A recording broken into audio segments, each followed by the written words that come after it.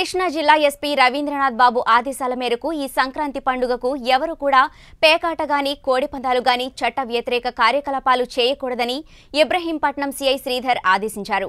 కృష్ణా జిల్లా ఇబ్రహీంపట్నం మండలం సీఐ కార్యాలయంలో నైన్టీన్ టీవీ ప్రతినిధి మట్టిపల్లి బాలకృష్ణతో సీఐ శ్రీధర్ మాట్లాడారు.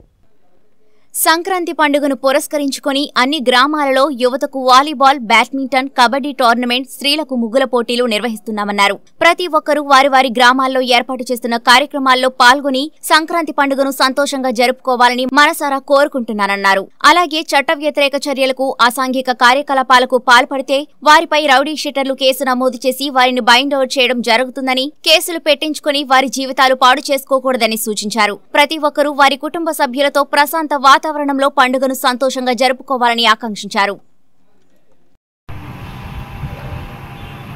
ఈ ఇది సంక్రాంతి నెల.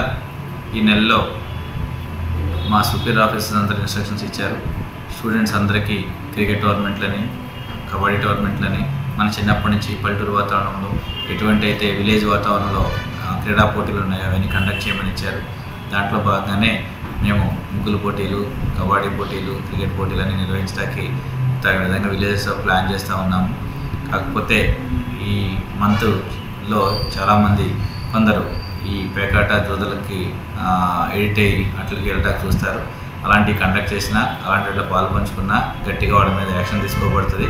వాళ్ళ మీద చర్యలు తీసుకోబడతాయి. ఒకసారి కనుక అలాంటి విషయంలో జరిగితే వాళ్ళ మీద బైండ్ అవర్ కేసులు పెడతాం జరుగుతుంది ప్రతి సంవత్సరం. ఆ విధంగా ప్రతి సంవత్సరం వాళ్ళు పోలీస్ స్టేషన్ తిరగాల్సి వస్తారు. కాబట్టి ఎటువంటి పరిస్థితుల్లో అలాంటి వాటిలో ఇన్వాల్వ్మెంట్ లేకుండా చూసుకోవాల్సిన బాధ్యత వాళ్ళకే ఉంది.